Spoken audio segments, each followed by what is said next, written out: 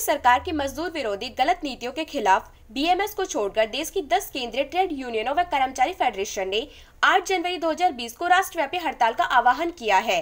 अब यह हड़ताल केवल ट्रेड यूनियनों की हड़ताल नहीं रह गई है। तमाम किसानों, छात्रों, नौजवानों, महिलाओं आदि के संगठनों ने इस हड़ताल का पुरजोर समर्थन किया है।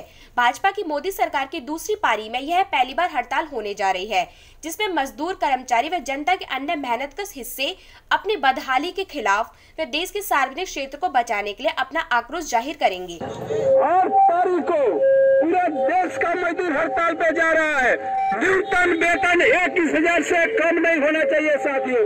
इसी सवाल पर मिल करके पूरे देश का चक्का जाम करने जा रही है दस तारीख। को आप तमाम साथियों से सी आई टी अपील करता है कि अपने वेतन को बढ़ाने के लिए, श्रम अधिकारों को लागू करवाने के लिए और तरह की जो राष्ट्रव्यापी हड़ताल हो रही है, उसमें आप लोग शामिल होइए बढ़ चढ़ करके हिस्सा लीजिए। और अपने मांग को मनवाने के लिए आठ तारीख को जो हड़ताल हो रहा है उस हड़ताल में शामिल होंगे साथियों खबरों की विस्तार से जानकारी के लिए सब्सक्राइब करें हमारा चैनल और क्लिक करें बेल आइकन पर ताकि कोई भी खबर आपसे अछूती ना रह सके।